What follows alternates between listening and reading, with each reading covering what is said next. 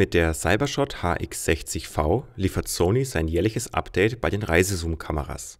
Mit 30-fach Zoom und 20 Megapixel Auflösung verspricht der Hersteller ein solides Gesamtpaket. Im Test kann sich die HX60V als insgesamt gute Kamera behaupten. Die Neuerungen fallen dieses Jahr allerdings recht überschaubar aus.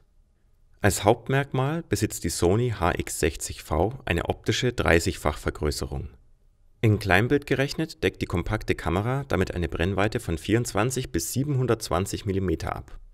Der Fünfachsen-Stabilisator hält die Aufnahmen gefühlt etwas ruhiger als beim Vorgänger HX50.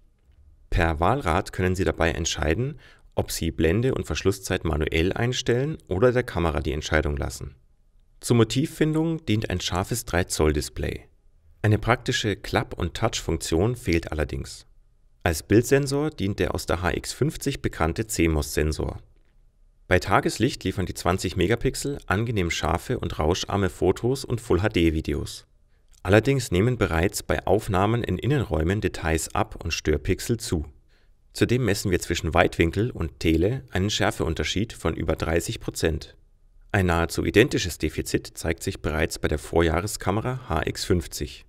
Ein ähnliches Bild zeichnet sich beim Autofokus ab auch die HX60 reagiert lediglich im Weitwinkel für Schnappschüsse ausreichend schnell. Die Serienbildgeschwindigkeit hat sich sogar von 10 auf 9 Bilder pro Sekunde verlangsamt.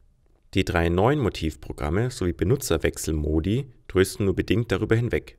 Zusammengefasst erweist sich die Sony Cybershot HX60 als insgesamt gute Reisezoom-Kamera, die allerdings nur wenige Änderungen mit sich bringt Wer aufs GPS-Modul für den Aufnahmestandort im Bild verzichtet, spart sich bei der HX60 nicht nur das V im Namen, sondern auch 20 Euro